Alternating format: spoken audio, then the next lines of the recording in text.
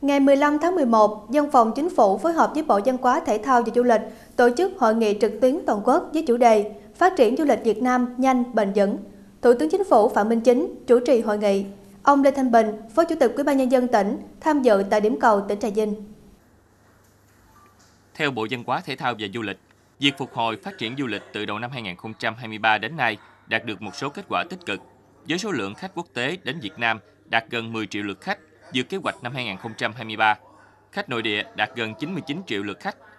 Tổng thu từ khách du lịch đạt trên 582.000 tỷ đồng. Kết quả này cho thấy du lịch Việt Nam tiếp tục khẳng định thương hiệu và vị thế của du lịch Việt Nam trên bản đồ du lịch thế giới.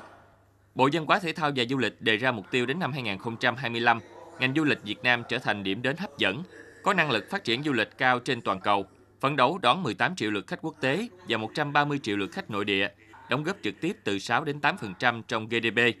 Phấn đấu đến năm 2030, du lịch là ngành kinh tế mũi nhọn, đóng góp trực tiếp từ 10 đến 13% trong GDP, phát triển theo hướng tăng trưởng xanh.